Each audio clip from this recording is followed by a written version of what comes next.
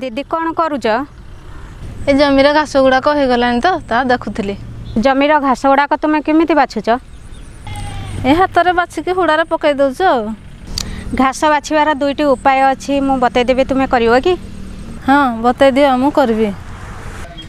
ପ୍ରଥମ ଉପାୟଟି ହେଲା ଯଦି ଆମେ ଧାନ ତଳିକୁ ଧାଡ଼ିକି ଧାଡ଼ି ଦଶ ଇଞ୍ଚ ବ୍ୟବଧାନ ଗଛକୁ ଗଛ ଛଅ ଇଞ୍ଚ ବ୍ୟବଧାନ ଲଗାଇବା ତାହେଲେ ଆମେ ଧାନରୁ ଅନ- ଅନାବନା ଘାସକୁ ଆମେ ୱିଡର ମାଧ୍ୟମରେ ବାଛିବା। ଦ୍ୱିତୀୟ ଉପାୟଟି ହେଲା ଯଦି ଆମ ପାଖରେ ୱିଡର ନଥିବ ତାହେଲେ ଆମେ ହାତରେ ଅନାବନା ଘାସକୁ ବାଛି ତାକୁ ମୋଡ଼ି ସେଇ ଜମିରେ ଓଲଟେଇ ପୋତିଦେବା। ଜମିର ଅନାବନା ଘାସ ନ ହୋଇଥିଲେ ମଧ୍ୟ ଆମେ ପ୍ରତି ପନ୍ଦର ଦିନ ଅନ୍ତରରେ ୱିଡର ଚଲେଇ ପାରିବା। ଯଦି ଜମିରେ ଘାସ ହେଇନଥିବ ତାହେଲେ ଉଇଡର ଆମେ କାହିଁକି ଚଲେଇବା? ୱିଡର ଚଲାଇବା ଦ୍ୱାରା ଉମ୍, ମାଟି ହାଲକା ରୁହେ ବାୟୁ ଚଳାଚଳ ବୃଦ୍ଧି ହୁଏ ଉମ୍, ମାଟିରେ ଏ, ପାଣି ରଖିବାର କ୍ଷମତା ବୃଦ୍ଧି ପାଏ।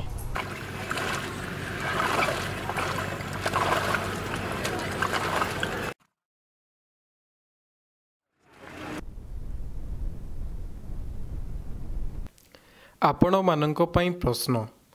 ଧାନ ଚାଷରେ କେଉଁ କେଉଁ ସମୟରେ ଘାସ ବାଛିବା ଦରକାର? ଲଗାଇବାର ପନ୍ଦରରୁ କୋଡ଼ିଏ ଦିନ ପରେ ଏବଂ ତାପରେ ପନ୍ଦର ଦିନ ବ୍ୟବଧାନରେ ଘାସ ବାଛିବା ଦରକାର। କ'ଣ ଦିଦି କ'ଣ ଚାଲିଛି? ଘାସ ବଛା ବଛି ସବୁ ସାରିଲଣି? ହଁ ଏବେ ତ ଘାସ ବଛା ଚାଲିଛି ଏ କିଆରଟା ବାଛି ସାରିଲି ତାପରେ ଆର କିଆରଟେ ବାଛିବି ଆଉ। ଘାସ ବଛା ବଛି ସରିଲା। ଜମିରେ କ'ଣ ଖତ ସାର ପକାଇବ ନା କେମିତି କ'ଣ ଚାଷ କରୁଛ ନା କିଛି ପକାଉନୁ।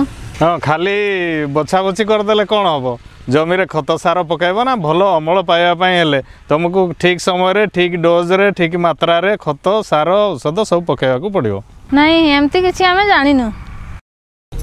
ହଁ ଭଲ ଅମଳ ପାଇବା ପାଇଁ ହେଲେ ଖତ ସାର ଔଷଧ ଠିକ୍ ସମୟରେ ଦେବା ଦରକାର।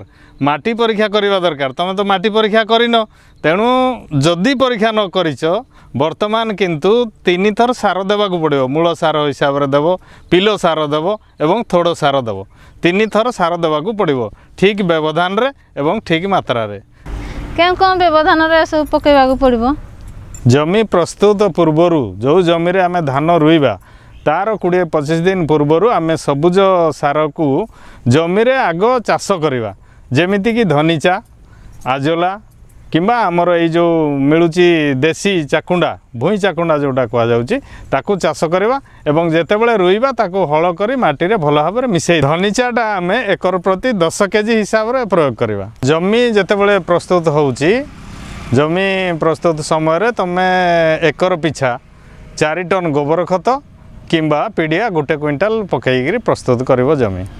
ଧାନ ଲଗାଇବାର ପନ୍ଦରରୁ କୋଡ଼ିଏ ଦିନ ଭିତରେ ମାନେ ଘାସ ବଛାବଛି ସରିଲା ପରେ ତୁମେ ଦ୍ୱିତୀୟ ଥର ପାଇଁ ଯେଉଁଟା ପିଲ ସାର ଦେବା କଥା ଦେବ। ପିଲ ସାର ହେଉଛି ଯେ ଗୋଟେ ଏକରକୁ ଅଢ଼େଇ କେଜି ଆଜୋଟ ଭେକ୍ଟର ସହିତ ପଚାଶ କେଜି ଉର୍ବର ମାଟି ଯଦି ଉର୍ବର ମାଟି ନ ହେଉଛି ତାହେଲେ ତୁମେ ଖତ ଗୁଣ୍ଡକୁ ମଧ୍ୟ ବ୍ୟବହାର କରିପାରିବ।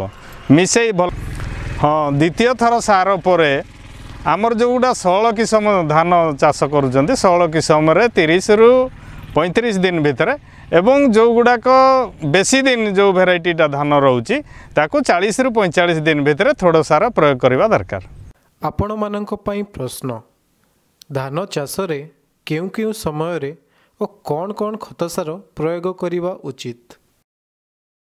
ଧାନ ଚାଷରେ ମୁଖ୍ୟତଃ ତିନୋଟି ସମୟରେ ଖତ ସାର ପ୍ରୟୋଗ କରିବାକୁ ପଡ଼ିଥାଏ। ଏକ ଜମି ପ୍ରସ୍ତୁତ କରିବା ସମୟରେ ଦଶ କେଜି ସବୁଜ ଖତ ଯେମିତିକି ଧଣିଚା ଚାରି ଟନ୍ ଗୋବର ଖତ ବା ଏକ କୁଇଣ୍ଟାଲ ପିଡ଼ିଆ ବ୍ୟବହାର କରିବାକୁ ପଡ଼ିଥାଏ। ଦୁଇ ଧାନ ଲଗାଇବାର ପନ୍ଦରରୁ କୋଡ଼ିଏ ଦିନ ପରେ ଏକ ଭାଗ ଆଜୋଟ ଭେକ୍ଟରକୁ କୋଡ଼ିଏ ଭାଗ ମାଟି ବା ଗୋବର ଖତ ସହ ମିଶାଇ ପକାଇବା। ତିନି ଧାନ ଲଗାଇବାର ପଇଁତିରିଶରୁ ଚାଳିଶ ଦିନ ପରେ ଏକ ଭାଗ ଆଜୋଟ ଭେକ୍ଟରକୁ କୋଡ଼ିଏ ଭାଗ ମାଟି ବା ଗୋବର ଖତରେ ମିଶାଇ ପକାଇବା।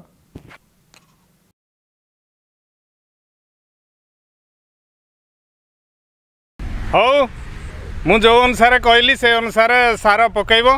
ମୁଁ ଯାଉଛି ଟିକେ ସେପଟେ ଅଲଗା ଲୋକ କହିଥିଲେ ତାଙ୍କର ଜମି ଆଡ଼େ ଟିକେ ଯାଉଛି। ହଉ ଆସ।